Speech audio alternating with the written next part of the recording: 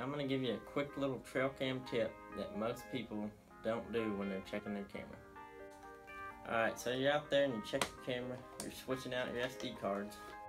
So you pull it out, you put your other one in there.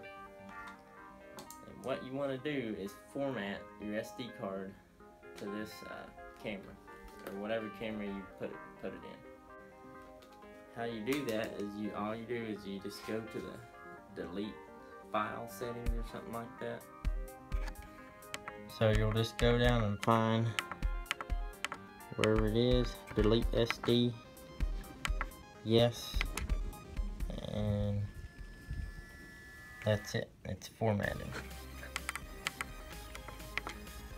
So you need to do that, you're switching out SD cards. And that's it, that's formatting your SD card the camera. And that's going to help if you're getting like black pictures or camera's not working right or the SD card's not working right. Um, it really helps out. So that's just a quick tip um, that most people don't do and it'll really help out with your camera, your SD card, and getting, getting pictures with the camera, not having black uh, pictures and stuff like that. So. Thanks for watching. Like and subscribe, and I'll catch you in my next video.